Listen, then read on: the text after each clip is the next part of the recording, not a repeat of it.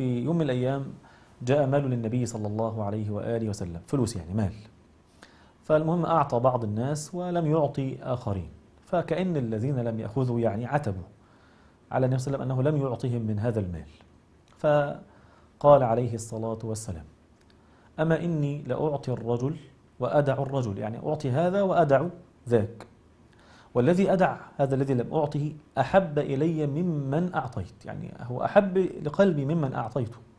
قال وإني لأعطي الرجل لما في قلبه من الجزع والهلع. إني لإيه؟ لأعطي الرجل لما في قلبه من الجزع والهلع. وأدع الرجل لما في قلبه من الغنى والخير. يعني لا أعطيه. لماذا؟ لما في قلبه من الغنى والخير.